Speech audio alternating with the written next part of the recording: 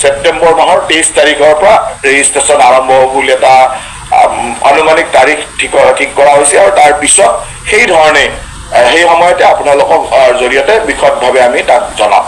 দ্বিতীয়তে আপোনালোকে জানে যে নমস্কাৰ বন্ধু বান্ধৱীসকল ফাইনেলি তোমালোকে ভাল খবৰটো পাই গ'লা যে অহা তেইছ ছেপ্টেম্বৰৰ পৰা আছাম পুলিচৰ ফালৰ পৰা যি পাঁচ হাজাৰ পদ আহিব লগা আছিল গতিকে তেইছ ছেপ্টেম্বৰৰ পৰা তোমালোকৰ অনলাইন ৰেজিষ্ট্ৰেশ্যন হ'ব। গতিকে এই মুহূৰ্তত বহুত বেছি ভাল খবৰ আৰু বেছি দিন সময় নাই মাজত মাথো আৰু দহটা দিন আছে আৰু দহ দিনৰ পাছতে আছাম পুলিচৰ ফালৰ পৰা বহু বহু পদৰ তোমালোকৰ অফিচিয়েলি আপডেট পাই যাবা। S L P R B ৱেবছাইটৰ ইতিমধ্যে যোৱাকালি কেবিনেট বৈঠকত বহুকেইটা গুৰুত্বপূৰ্ণ সিদ্ধান্ত লোৱা হয়। চৰকাৰী চাকৰিক লৈ অসম চৰকাৰৰ চাকৰিক লৈ বহুকেইটা গুৰুত্বপূৰ্ণ সিদ্ধান্ত লোৱা হৈছিল। তাত প্ৰথম সিদ্ধান্তটোৱে আছিল নতুন বাইছ হেজাৰ পদৰ। নতুন বাইছ হেজাৰ পদৰ অনলাইন ৰেজিষ্ট্ৰেশ্যন অহা তেইছ ছেপ্টেম্বৰৰ পৰা আৰম্ভ হ'ব মানে তোমালোকে ছেপ্টেম্বৰ শেষৰ উইকলৈ ৱেইট কৰিব লাগিব আৰু বেছি দিন সময় নাই।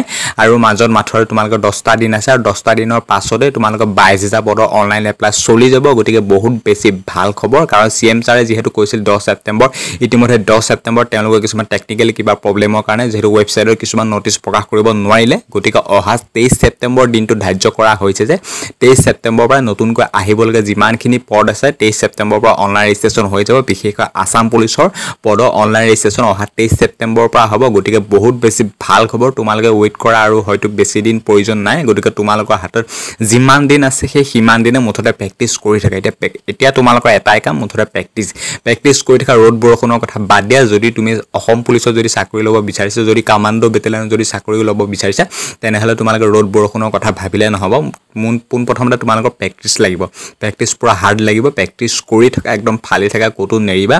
অহা তেইছ ছেপ্টেম্বৰৰ পৰা আছাম পুলিচৰ ফালৰ পৰা বহু হাজাৰ পদৰ অনলাইন ৰেজিষ্ট্ৰেশ্যন হৈ যাব। গতিকে আৰু বেছি দিন ৱেইট কৰাৰ প্ৰয়োজন নাই। ইতিমধ্যে জয়ন্ত মল্লভ ডাঙৰীয়া ছাৰে যিহেতু ডাঙৰ ঘোষণা কৰিলে আৰু বেছি দিন ৱেইট কৰিব নালাগে। আৰু মাজৰ মাত্ৰ দহটা দিন আছে। গতিকে তোমালোকৰ যিমানখিনি কাম কাজ এতিয়াই কৰিব লগা আছে কৰি লোৱা। আৰু ডকুমেণ্টছৰ কথাখিনি জানাই। তোমালোকৰ যিমানখিনি ডকুমেণ্টছ আছে গোটেইখিনি ডকুমেণ্টছ সাজু কৰি লোৱা। আৰু প্ৰেক্টিচ পূৰা হাণ্ড্ৰেড পাৰ্চেণ্ট দি থকা নিজকে। ৰিটাৰ্ণৰ কাৰণে কথা কৈছোঁ ফিজিকেলৰ কাৰণে কথা কৈছোঁ মুঠতে পূৰা ফালি থাকা।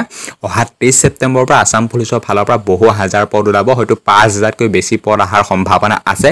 কাৰণ এইটোৱে যিহেতু আছাম পুলিচৰ ফালৰ পৰা শেষ ইণ্টাৰভিউ মানে এপ্ৰিল মাহৰ পাছৰ পৰা কোনো ধৰণৰ ভেকেঞ্চি প্ৰকাশ নাপায়। মানে এপ্ৰিল মাহলৈকে যিমানখিনি ভেকেঞ্চি আছে ইমানখিনি ভেকেঞ্চি বৰ্তমান ছেপ্টেম্বৰ মাহতে তোমালোকক এলাউ কৰি দিয়া হ'ব। আৰু নেক্সট নেক্সট বছৰ তোমালোকে আশা নকৰিবা বৰ্তমান যিটো বছৰ যিটো এতিয়া চলি আছে পৰিস্থিতি সেই পৰিস্থিতিতে তোমালোকে চাকৰি ল'বলৈ চেষ্টা কৰা। এইটোৱে লাষ্ট ৰিক্ৰুটমেণ্ট বুলি ধৰি Assam police commando battalion S IK ধৰি এ বি বি বহুকেইটা ডিপাৰ্টমেণ্টৰ পষ্ট ওলাব বিশেষকৈ অসম আৰক্ষী বিভাগৰ। গতিকে তোমালোকে যদি চাকৰি ল'ব বিচাৰিছা প্ৰিপেৰেশ্যন চলিয়ে থাকা। মানে প্ৰিপেৰেশ্যন পূৰা কষ্ট কৰি থাকা। অহা তেইছ ছেপ্টেম্বৰৰ পৰা এপ্লাই চলি যাব আৰু ভিডিঅ'টো যদি চাই ভাল পায় লাইক কমেণ্ট শ্বেয়াৰ নে ছাবস্ক্ৰাইব কৰি ৰাখিবা আৰু লগৰ যিমান বন্ধু বান্ধৱী আছে সকলোকে শ্বেয়াৰ কৰি দিয়া যাতে তেওঁলোকে কথাখিনি গম পায়। আৰু আজিলৈ মই লৈছোঁ বিদায় ধন্যবাদ জয় অসম ৰেজিষ্ট্ৰেশ্যন আৰম্ভ হ'ব আৰু মোটামুটি আনুমানিক তাৰিখ এই মাহৰ ছেপ্টেম্বৰ মাহৰ তেইছ তাৰিখৰ পৰা ৰেজিষ্ট্ৰেশ্যন আৰম্ভ হ'ব বুলি এটা আনুমানিক তাৰিখ ঠিক ঠিক কৰা হৈছে আৰু তাৰ পিছত সেই ধৰণে সেই সময়তে আপোনালোকক জৰিয়তে বিশদভাৱে আমি তাক জনাম। দ্বিতীয়তে আপোনালোকে জানে যে আমাৰ যিখন বি টি আৰ চুক্তি